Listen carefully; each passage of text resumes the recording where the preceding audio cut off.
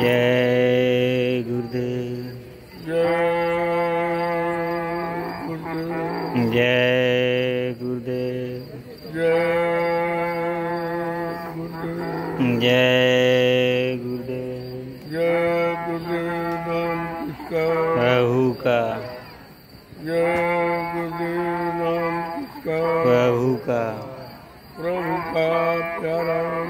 जय गुरुदेव।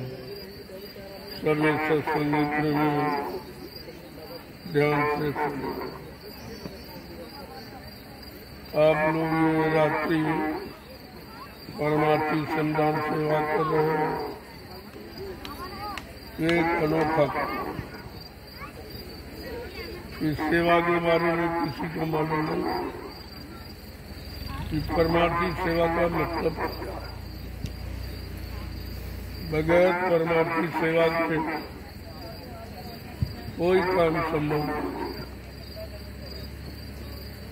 इस सेवा में प्रेमियों का कोई स्वार्थ नहीं। कोई लोग लालच से नहीं। तो ये किसके लिए कर रहे हैं? आगे आने वाले समय। जब हिंदुस्तान के लोग कई जगह नहीं पाएँगे उनके लिए जगह तैयार की ये है परिवर्तन का प्लेटफॉर्म, जो सबके लिए तैयार किया लेकिन ये रात किसी को मालूम नहीं ये जंगल क्यों खरीदे जा रहे हैं, ये उबड़ खाबड़ ज़मीन क्यों ली जा रही इसको संकल्प कराया जा रहा है। इस पर एक बार अपनी बुद्धि दौड़ानी चाहिए। ये काम किसी के बस का नहीं। न सरकार कर सकी जंगल को कटवा सरकार भी हार गई। ये जंगल को ले भी नहीं करा। और लोग भी हार तब मैंने भूमि पर कदम लिया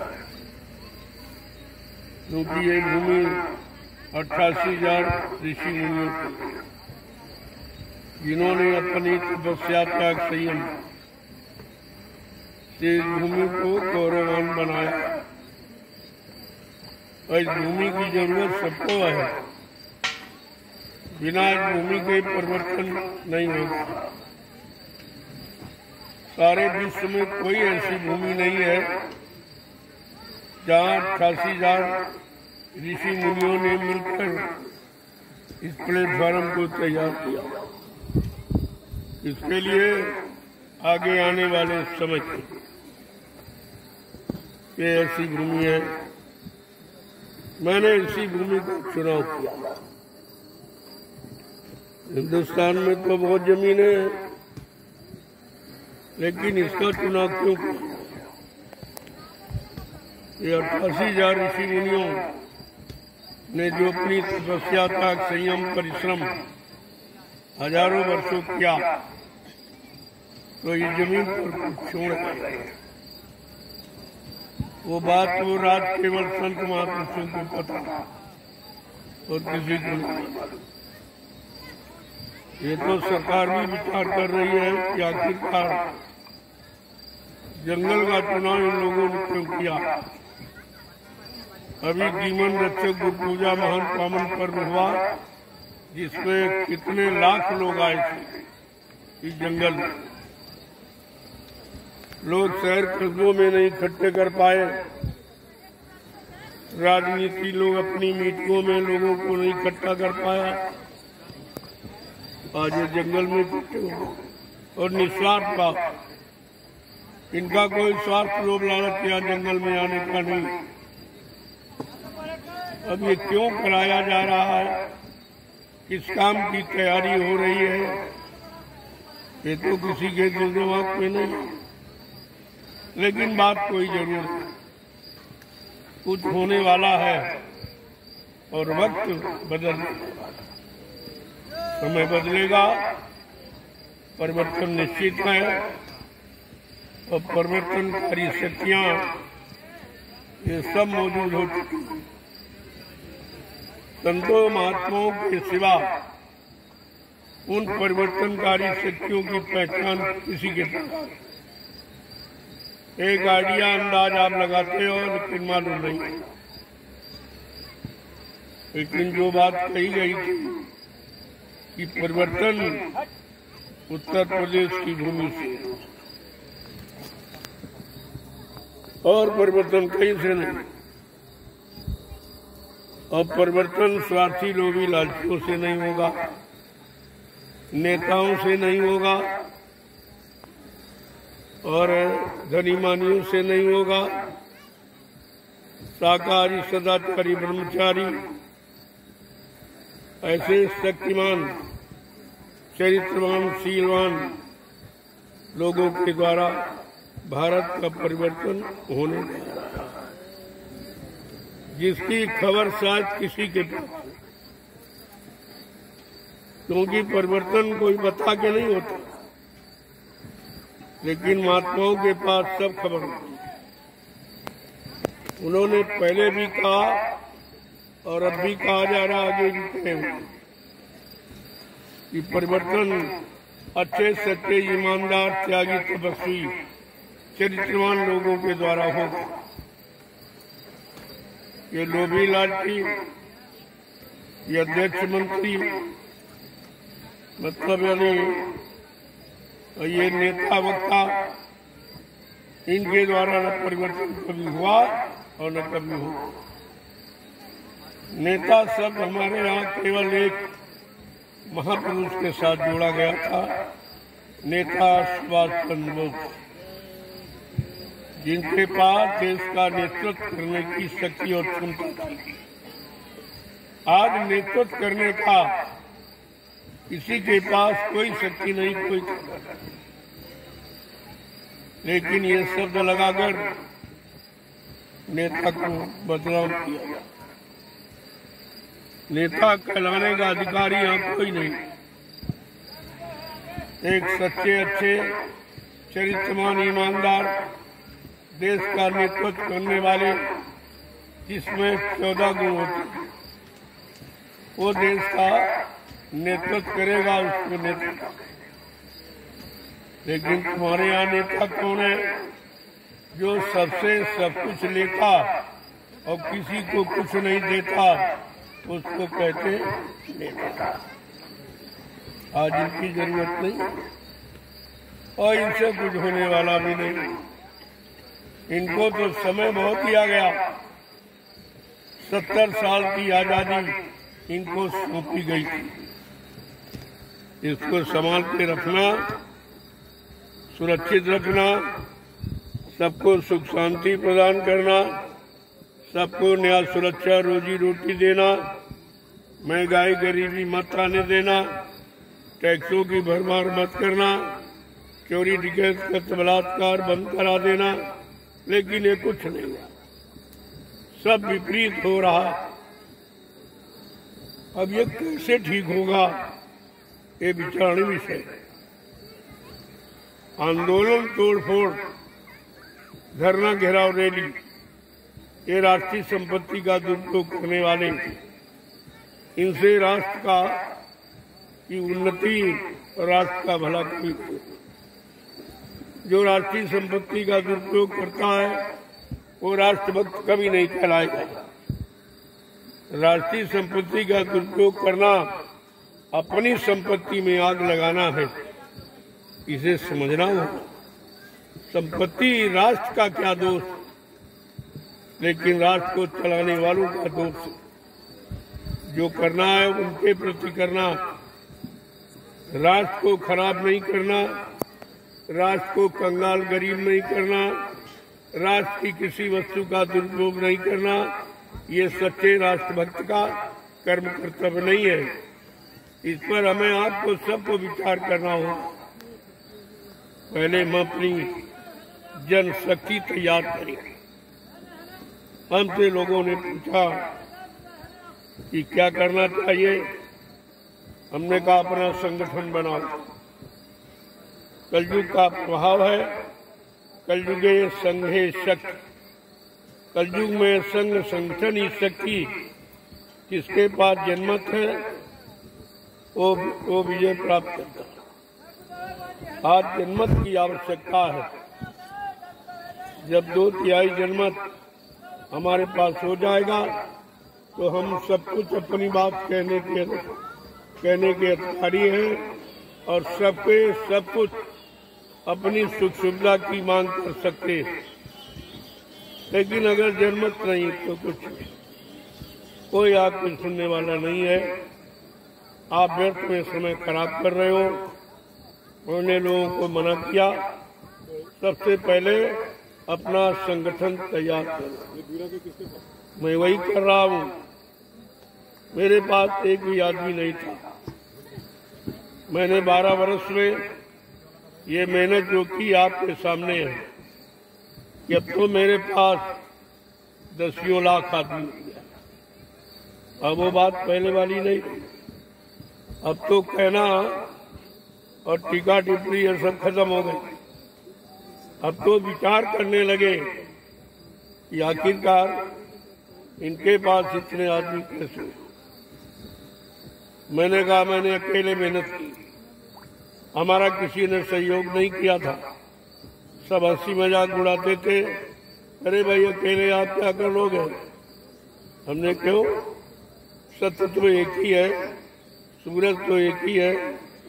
क्या एक काम नहीं कर सकता? काम करने वाले में शक्ति और सामर्थ्य होना चाहिए। वो अकेले करके दिखा देगा। और मैंने आपको दिखा दिया। बारह साल लगे हैं।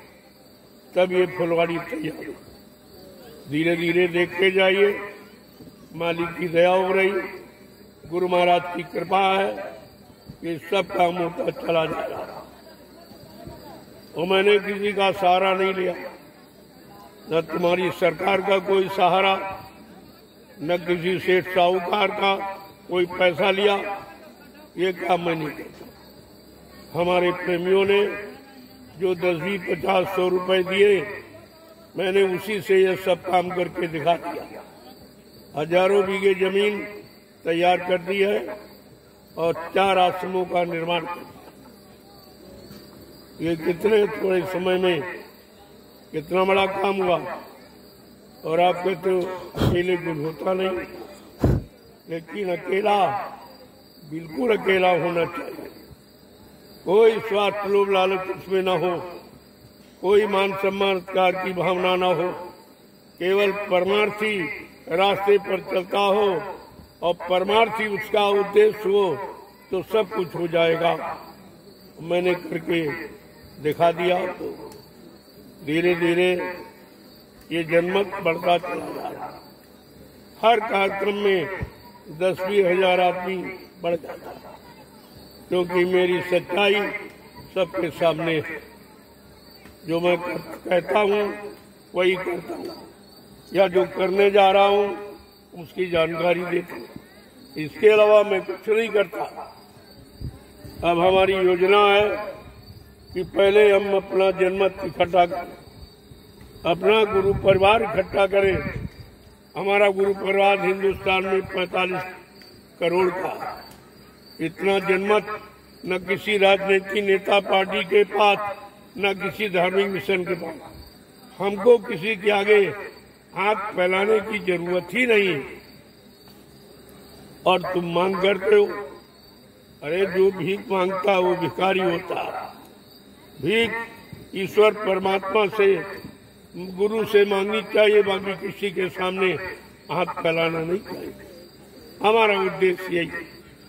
हम मांगेंगे, अपने गुरु से मांगेंगे। हमारा गुरु समर्थ है, सब कुछ दे सकता है, सब कुछ भंडार उसके पास है। हमें किसी के सामने, इंसान के सामने हाथ फैलाने की ज़रूरत नहीं है, चाहे सरकार हो, चाहे कोई धर्म मिशन। मैं कभी कोई मांग नहीं करता। लोगों ने कहा, सरकार से ये वो, कुछ नहीं। कुछ नहीं। ये देने वाले नहीं सब भिखारी हैं। जो चंदा नोट महँगाई टैक्स माँगता है, वो भिखारी है। मैं इन भिखारियों के सामने कभी हाथ नहीं फैलाऊँगा, अपने स्वाभिमान को कभी खत्म नहीं करूँगा। धीरे धीरे गुरु की दया, कृपा से इतना बड़ा जनमत ये तैयार हो गया बारह वर्ष मैंने अकेले इतना तैयार कर दिया, अब तो बहुत लोग। अगर सब लोग जुड़ जाओ तो कितनी जल्दी काम हो तुमको किसी से कहने की ज़रूरत नहीं पड़ेगी। लोग तुम्हारे पास आना शुरू कर अभी तुम उनके सामने चिट्ठी लिखते हो, ये मतलब एप्लीकेशन देते हो, भाई ये कर दो, ये कर दो, ये ये काम ये काम है, ये सोना है, चांदी है। अरे उनको क्या मालूम? वो तो समझते कुछ जानते नहीं हो। तुम सोने की बात करते हो, मैं हीरे की बात करता हूँ। सोना होना कुछ नहीं। एक चने के बराबर हीरे की कीमत कितने करोड़ है? आपको इस पर विचार करना चाहिए। तुम्हें ये मालूम नहीं है, तुम्हारे देश का हीरा इन लोगों ने विदेशी बैंकों में कैसे जमा कर दिया? सोना चांदी की बात छोड़ दो, हीरा। रुपए बात छोड़ दो। रुपया तो इतना है। मैंने कहा कि अगर नेपाल बैंक से इन लोगों का, जो हिंदुस्तान का पैसा इन्होंने चोरी करके भारत की जनता से और ये बैंक में भर दिया, अगर नेपाल बैंक का पैसा निकाल के देश में आ जाए तो देश की गरीबी समाप्त हो जाएगी कोई गरीब नहीं रहेगा। तुमको मांग अपने धन की करनी इधर उधर की बातों से कोई लाभ नहीं है। जो वो जानते नहीं, उसकी मांग कर रहे तुम। उनको पता ही नहीं है जो उन्होंने सत्तर साल की आज़ादी में जो जनता की चोरी की है, उसकी बात करो। और जहाँ जहाँ जमा किया है, आप उसकी बात करिए। वो याद दिलाओ, तब इनके कान में खबर पहुंचेगी कि नहीं, भारत की जनता जाग गई है। अब ये सब कुछ अपना हिसाब लेंगे हमें आपको केवल भारत की जनता को जगाना एक जाग जाएगी।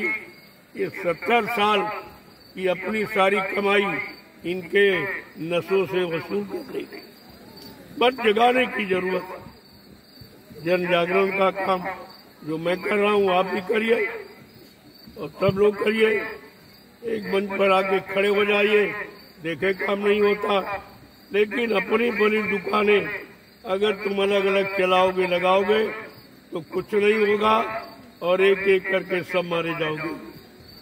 सब मारे जाओगे, कुछ नहीं कर सकते।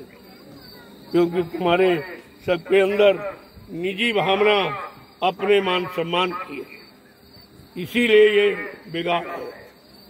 इसको जब तक खत्म नहीं करोगे, आपको कुछ भी मिलने वाला नहीं।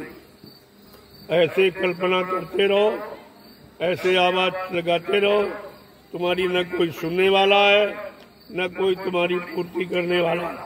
इन भिखारियों के आगे तुम क्यों झोली और कामन फैलाते हो, जिनके पास कुछ नहीं है? अगर झोली फैलाना है समृद्ध सदगुरु के आगे फैला।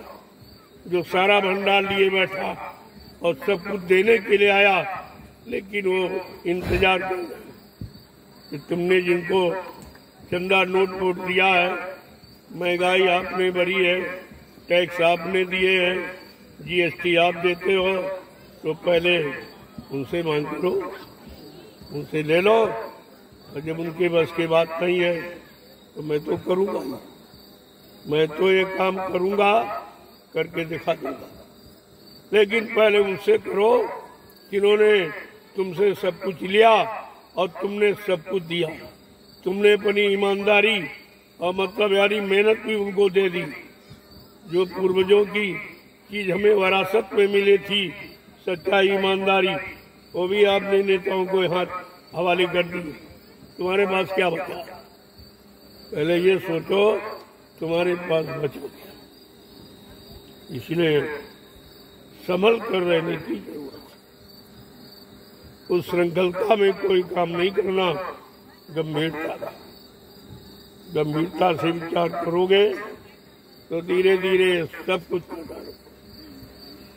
और कहो कि हम बगावत करेंगे, हम आंदोलन करेंगे, हम तोड़ फोड़ करेंगे, राष्ट्रीय संपत्ति का दुरुपयोग करेंगे, इससे कुछ होने वाला नहीं है।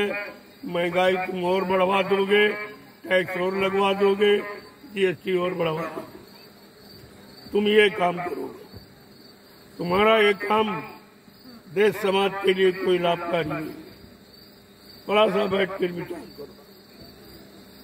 जो भी काम करो, विचार करो। बिना विचारे जो करे, सो पाछे पछताए। काम बिगाड़े आपनो और जग में हो हसाए। आपने यही काम किया। कितना बिगाड़ आपने कर डाला। कितने प्रेमियों की हिंसा हत्या करवा दी, कितने को बेघर कर दिया है मतलब यानी भूमिहीन कर दिया, आपने ये काम किया। ये उन्नति का काम है, ये उत्थान का काम है, ये प्रगति का काम है, जरा विचार कीजिए। और फिर तुम उसी काम को करने के लिए घूम रहे हो। इससे कोई काम नहीं बनेगा। अभी तुम्हारा एक घाव पूरा नहीं हुआ, फिर तुम दूसरा बनाने के लिए घूम रहे हो। सरकार तुम्हारे पक्ष में न कभी है, न होगी। इसके पीछे मत पड़िए। इसकी यहाँ कोई न्याय, कोई सुरक्षा, कोई रोजी रोटी ये काम उसके बस का नहीं तो आपको सोचना चाहिए, जिनके बस का ही नहीं है, उनसे तुम कहोगे, मांग करोगे, क्या वो दे सकेगा? ही नहीं तो देगा क्या? इतना विदेशी बैंकों से ऋण ले लिया है, जिसकी कोई सेवा नहीं।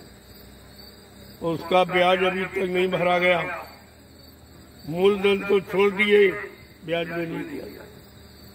धीरे धीरे देश गिरवी हो गया चिंता करो, देश की करो। चिंता करो, बिगड़े समाज को ठीक करने की। चिंता करो, अपने देश की स्वतंत्रता और आज़ादी की, आज़ादी को लाने के लिए जिन्होंने कुर्बानी की, उनकी चिंता करो। ये तो आप कुछ करते ही नहीं हो। तो मतलब का काम करते घूम रहे हो। तो कहते तो ये करेंगे, वो करेंगे। हमने कहा, कुछ नहीं।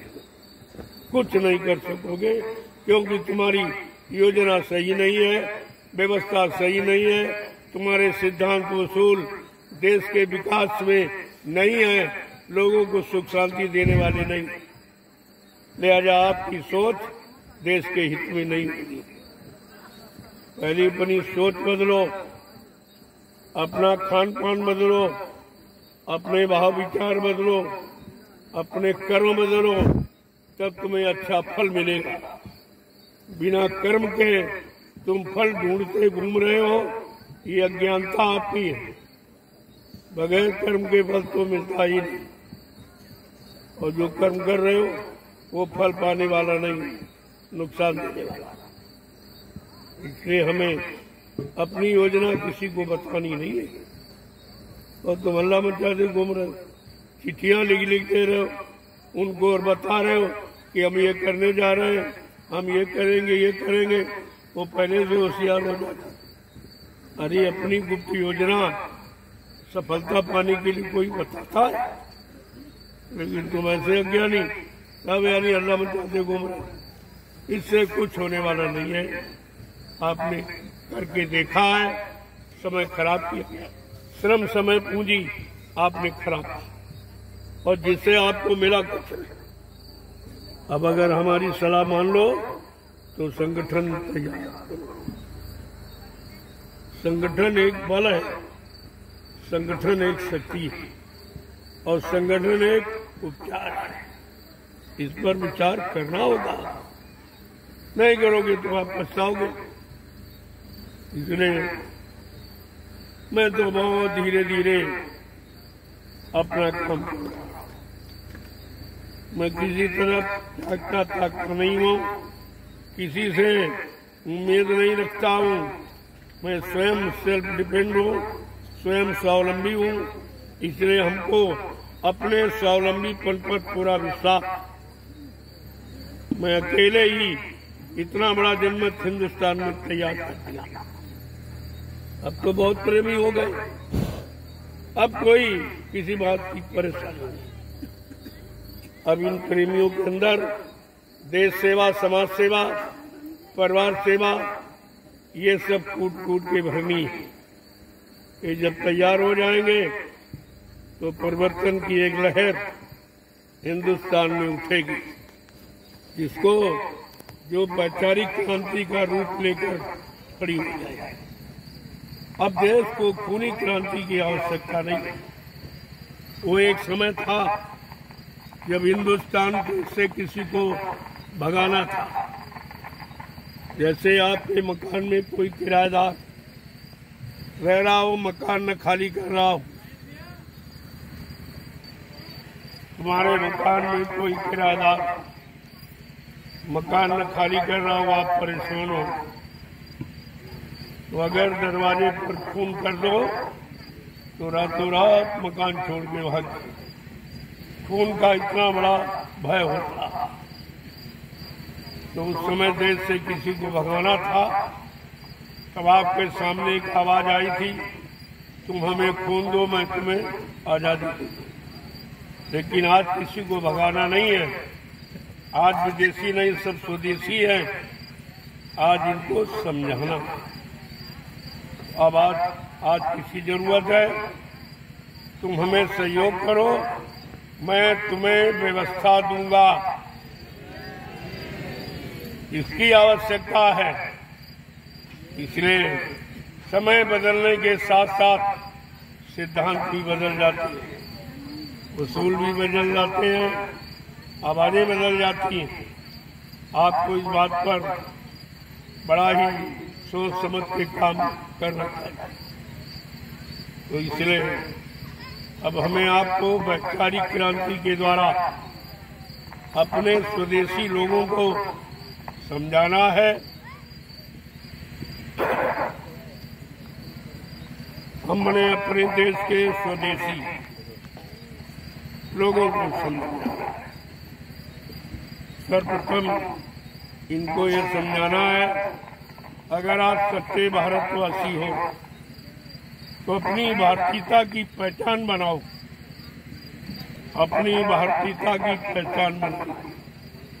हमारी भारतीयता की पहचान क्या है? हमारी वेशभूषा हमारी वेशभूषा हमारी पहचान किसी देश में आप चले जाओ, हमारी भारतीय वेशभूषा ये हमारी पहचान कुर्ता धोती, कमीज, पैजामा, सदी, टोपी, पगड़ी और लंगोटी ये हमारी पहचान, जो ऋषि मुनि महात्माओं के द्वारा दी गई। अब अपनी पहचान को भूल गए। अंग्रेज़ों को भगाया गया, लेकिन अंग्रेजियत अब भी आप धारण किए उनकी भाषा को प्राथमिकता दे रहे हो। तुम हिंदुस्तानी हो, तुम्हारी हिंदी और संस्कृत, ये मुख्य भाषा और यही मातृभाषा और यही असली भाषा। लेकिन तुमने अंग्रेज़ी को मात दिया। उनकी अंग्रेज़ी के गुलाम अब भी भाषा के। पैंट पतलून टाई और कोट, ये भी अंग्रेज़ों की पोशाक है। वो भी आप धारण किए पोशाक के तुम गुलाम हो, भाषा के तुम गुलाम हो। ये गंदा खान पान, मुर्गा अंडा और इंग्लिश ठंडी बियर दारू, ये सब अंग्रेज़ों की। तो मेरा कहना ये है, अंग्रेजियत छोड़िए और भारतीयता अपनाइए। अगर आप सच्चे भारतवासी हो, सच्चे हिंदुस्तानी हो तो अपनी हिंदी संस्कृत को मान आज विदेश में हिंदी संस्कृत का प्रचार हो, सब लोग इस भाषा को पसंद करते हैं। इतनी मधुर और रोचक कोई भाषा नहीं है। किसी भाषा का इतना सुंदर संगीत नहीं है। बात आपको सोच लेकिन अभी आप तो उसी खिचड़ी में पड़े हो। कहते हो हम अंग्रेज़ों को भगाने का इतिहास सामने बता रहे तुम खुद ही अभी उसी में रंगे हो।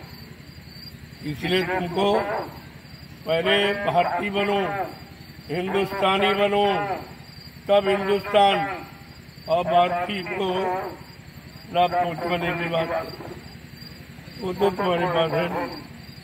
मैंने 15 सितंबर 2023 ये घोषणा की थी सारे हिंदुस्तान के सामने करार सच्चे भारत वासी हो अपनी भारतीय वेशभूषा में आ जाओ। अपनी भारतीयता की कदर करो। अपनी भारतीय संस्कृति का सम्मान करो। इस पोशाक में आ जाओ। तुमको भी शांति मिलेगी, जो तुमको लोग देखेंगे। उनको भी शांति ये ऐसी पोशाक वेशभूषा जो ऋषि मुनि महात्माओं के द्वारा भेंट की थी। आप तो सब भूले हुए हो। खाली झूठी आवाज़ें लगा रहे हो। अपनी तरफ़ नहीं देख रहे हो कि अभी अंग्रेजियत से तुम भरे पड़े हो। तुम्हारे अंदर भारतीयता का कोई लक्षण नहीं है। कोई काम नहीं है। कोई पहचान नहीं है। कोई खान पान नहीं है। कैसे अपने आप को कहोगे हम भारतीय इस पर आपको ध्यान देना आगे समय आ रहा। जो परिवर्तन का समय होगा, उसमें हिंदी और संस्कृत पे भारत का संविधान बनेगा। जो भारत की जनता को याद होगा, वो दोहा चौपाई और सोरठा सवैया में बनेगा। अभी आपको क्या पता कि परिवर्तन कैसा होने जा रहा और वो परिवर्तन नेताओं से नहीं वक्ताओं से नहीं अध्यक्ष मंत्रियों से नहीं वो परिवर्तन होगा संत महापुरुषों के द्वारा। हुई है संत राज भारत में अब बचाए बचिए ना बाबा जय गुरु की वाणी तब दिखाई पड़ी है हाँ। ये सब आपको दिखा दिया जाएगा। आप थोड़ा सब्र करो इंतज़ार करो, सब आपको दिखा दिया जाएगा अभी तो बारह बरस से आवाज़ लगाई है। अब इतना जनमत हो गया, अब आगे कितना हो जाएगा, आप खुद इस पर विचार करो। कौन बाकी रहेगा जो जगेगा नहीं? हमें जन जागरण करना देश की जनता को जगाना है। उनमें भारतीयता, हिंदुस्तानी के लक्षण आने हैं। खान पान आना है वेशभूषा आना है, तब परिवर्तन प्रारंभ होगा। आप इस पर विचार कीजिए, ये सब मैंने अकेले कहा। कोई नहीं बोला हिंदुस्तान में। इतने करोड़ों महात्मा हैं और ये नेता हैं, लेकिन किसी ने हिंदुस्तान की बात, भारत भारत की बात तो कही नहीं। सब उसी में सने हुए। इसलिए हमारी बात पर गौर मेरा दूसरा सिद्धांत, शाकाहारी। क्योंकि परमात्मा ने जितने शरीर बनाए, उन शरीरों में जो मशीन बनाई, उन सब की ऊर्जा, शक्ति, ताकत, ईंधन अलग है। तो मनुष्य की, मनुष्य मशीन, ये परमात्मा ने बड़े सोच के बनाई। इसका ईंधन खुराक क्या है? सीजनल अनाज सीजनल दाने सीजनल सब्ज़ियाँ, फल, फूल, मेवे, दूध, मक्खन, मलाई, घी, इसको कहते हैं शुद्ध शाकाहार। आहार अगर जैसा वैसे विचार होंगे। जैसे विचार होंगे, वैसे कर्म करोगे। जैसे कर्म करोगे, वैसा फल मिलेगा। आप इस पर विचार कीजिए। जब तक आहार पर विचार नहीं होगा आप किसी का सुधार कर ही नहीं सकते। ये भाषणबाजी से, ये चुनाव करने से, प्रधानमंत्री, मुख्यमंत्री बदलने से सुधार नहीं होगा। सुधार होगा शाकाहार से। स्वच्छ भोजन, स्वच्छ बुद्धि, स्वच्छ सोच और स्वच्छ कर्म और स्वच्छ फल, ये नियम इसके अनुसार तो आपको चलना ही होगा। जब तक ये चीज़ नहीं आएगी, आप कुछ नहीं कर सकते। इस बात को गांठ में बाँध लीजिए। पहले तुम सुधरो, परिवार सुधरेगा, मोहल्ला सुधरेगा, गाँव सुधरेगा, प्रदेश सुधरेगा, देश सुधरेगा और विश्व सुधरेगा। ये सुधार नीति है। पहले इसको अपनाइए आप। इधर उधर की बातें फालतू समय खराब करते हो। और इससे कुछ होने वाला नहीं है। और अभी तक तुमने नहीं कुछ कर पाया तो अब क्या करूँ? अब क्या करूँ? अब तो तुम्हारा काम करने का समय खत्म। अब तो संत महात्मा, जिनका देश है, जिनकी भूमि है, वो करेंगे तो नहीं आपको मौका दिया गया, सत्तर साल की आज़ादी को बर्बादी के कगार पर लाके खड़ा कर दिया, क्योंकि जिन्होंने कुर्बानी दी उनको तो है नहीं कोई। वो सब चले गए। ये बेचारे जिन्होंने कुर्बानी दी, बर्बाद नहीं जा रही और अपने आप को देश के लिए, समाज के लिए, धर्म के लिए, न्याय सुरक्षा, रोजी रोटी के लिए कोई कुर्बानी दी नहीं है। तो ये कुर्बानी की बात क्या करेंगे? आपको इस सब पर विचार करना है। हम सबको इस पर विचार करना है कि आखिरकार अब क्या करना चाहिए। जय गुरुदेव। जय गुरुदेव। जय गुरुदेव। जय गुरुदेव। जय गुरुदेव नाम किसका? प्रभु का। जय गुरुदेव नाम किसका प्रभु का। प्रभु का प्यारा नाम जय गुरुदेव। देखो नाम का उच्चारण। नाम से काम होता है लेकिन समय के नाम समय के नाम से समय का काम होता है। जो नाम काम करके चले गए उनसे तुम्हारा काम नहीं होता। तुमको अपने समय का नाम चाहिए। और नाम कौन जगाता है? ऋषि मुनि महात्मा। उनके द्वारा नाम जगा। कोई ज्ञानी विज्ञानी नाम की स्थापना नहीं करते। इस पर भी आपको विचार करना चाहिए। जिनका नाम आप लेते हो, उनके बारे में आप कुछ नहीं जानते। जिनकी चर्चा हिंदुस्तान में चल रही नेता सुभाष चंद्र बोस, आपने उनको आँखों से देखा नहीं। उनकी स्पीच आपने कानों से सुनी नहीं। तुम लोगों की सुनी सुनाई बातें मन गढ़न और कल्पना में। ये सब झूठ है।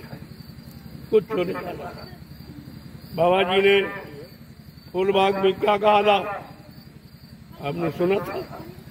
गए हो गए आप बच्चा जब मैं कानपुर में प्रवेश किया तो मैंने दीवारों पर लिखा देगा कि नेताजी आ रहे नेताजी। कहा अच्छा ये बताओ, अगर मैं कह दूँ, मैं सुभाष हूँ, मुझे कौन पहचानेगा? कौन पहचानने वाला है? उस उम्र का कोई है यहाँ? सब झूठी बातें करते अरे, महात्माओं से पूछो, वो आपको बताएँगे। बाबा जी ने कहा, सुभाष योगी सुभाष महात्मा वो सौ साल का बन जाएगा, दो सौ वर्ष का बन जाएगा। क्या तुम पहचान लोगे? वो शक्तियाँ हैं। तुम इन शक्तियों को अपने स्वार्थ का आधार मत बनाना। नहीं कुदरत से भारी मार पड़े। शक्तियों को महात्मा गुरु जानते हैं। जैसे राम लक्ष्मण शक्ति थी, कोई नहीं पहचाना। केवल विश्वामित्र जो समय के गुरु थे, उन्होंने पहचाना। और मांग के ले आए। अपने आश्रम में रखा, सारी नीतियाँ सिखा पढ़ा तैयार कर दिया। ये तो इतिहास है आपका। ये संत महात्माओं को पहचाना कहा, वो शक्तियाँ सब मौजूद कहीं चली नहीं गई, लेकिन तुम्हारे अनुसार नहीं आएँगी। तुम्हारे बुलाने से नहीं आएँगी, तुम्हारे आवाज़ लगाने से नहीं आएँगी। जब संत महापुरुष आवाज़ लगाएँगे तो उनके दूरदर्शी प्लेटफार्म पर वो शक्तियाँ आके खड़ी हो जाएँगी। तब संत महापुरुष उनको एक आदेश दे। उनसे काम कराएँगे, उनका नाम होगा, उनका इतिहास बनेगा, लोग उनकी पूजा करेंगे। ऐसा नहीं है, काम होगा, कोई रोक नहीं सकता। लेकिन तुम्हारे कहने चिल्लाने से नहीं, क्योंकि तुमने न देखा है, न सुना। सुनी सुनाई बातें करते हो, लोगों के मुँह से सुना है और जिनसे सुना उन्होंने भी नहीं देखा। अब उनसे आगे सुनो तो कहेंगे, हमने भी नहीं देखा। अंत में निर्णय ये मिलेगा, किसी ने देखा ही नहीं। जब आपने देखा नहीं, जाने बिन न हो पड़ती थी, बिन पड़ती तो हो नहीं पड़ती बिना जाने, किसी तरह का विश्वास नहीं। बिना देखे तो विश्वास और रिश्ता होता ही और तुमने किसी को देखा नहीं। और नकली रिश्ता बनाए, घूम रहे हो और नकली बातें करते हो, उससे कुछ होने वाला नहीं। तो पहले हुआ ना कुछ। इसलिए व्यवस्था बदलने को ये परिवर्तन का समय है। बहुत सोच समझ कर बोलो। बाबा जी ने क्या कहा था? भविष्य वक्ताओं विश्व पटल पर भविष्यवाणी सोच समझ के करना। ये परिवर्तन का वक्त है। और सोच समझ के आप तुम्हारे अनुसार कुछ नहीं। परिवर्तन जो करने आया है, उसके बाकी आप एक आइडिया अंदाज लगा सकते हो, लेकिन स्वप्रशस्त नहीं कर सकते। जो काम करने आया है, वो भूमिका अपने अनुसार बनाएगा। तुम्हारी सबकी भविष्यवाणियों को वहीं पर रुकवा दिया जाएगा ये बाबा जी ने अस्सी में बराबर सब इशारा अभी उसका वक्त नहीं है। आपका आइडिया अंदाज है, लेकिन ये तो परिवर्तन का वक्त है। जो काम करने आया है, वो भूमिका अपने अनुसार बनाएगा, वो परिवर्तन करके दिखा देगा। तो आपको तो ये सब सोचना समझना चाहिए। बगैर सोचे समझे भागे दौड़े घूम रहे हो, कोई आधार नहीं, बेबुनियादी बात करोगे, बेबुनियादी व्यवस्था बनाओगे तो हमेशा असफल रहोगे। जय गुरुदेव। जय गुरुदेव। जय गुरुदेव जय गुरुदेव जय गुरुदेव नाम किसका प्रभु का ज़ोर से बोलो जय गुरुदेव सब मिल बोलो। जय गुरुदेव। बोलना होगा। जय से बोलो। जय गुरुदेव। दर्द हरेंगे। जय गुरुदेव। कष्ट मिटेंगे। जय गुरुदेव। शांति भी देंगे। जय गुरुदेव। के दाता। जय गुरुदेव। सबके मालिक। जय गुरुदेव। प्रेम से बोलो। जय गुरुदेव। नाम नहीं इंसान का। ये नाम है प्रभु का। ये काम नहीं इंसान का। ये काम है प्रभु का। देखो, नाम बदलता जब जैसा समय, तब तैसा नाम। काम करने नाम काम के लिए आता अगर जिस नाम से काम न हो तो नाम किस बात उस नाम की सच्चाई नहीं मानी जाती। अगर जिस नाम से काम नहीं होता तो अब आपको विचार करना चाहिए कि समय का नाम आ चुका वो नाम सारी शक्तियों को लाएगा। सबको इकट्ठा करेगा और सबसे काम कराया जाएगा। सबका इतिहास बनेगा। सबकी पूजा होगी। तुम ये क्यों नहीं सोचते? और जल्दबाजी करोगे तो जल्दी काम शैतान धीरज काम रहमान का। तो आप आहिस्ते आहिस्ते समय के अनुसार समय कर्मटे बदल रहा है।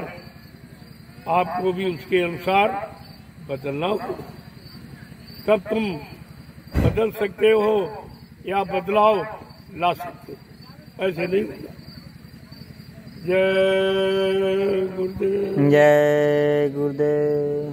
प्रेमियों आपकी रात्रि परमार्थी संदान सेवा का समय लगभग पूरा होने जा रहा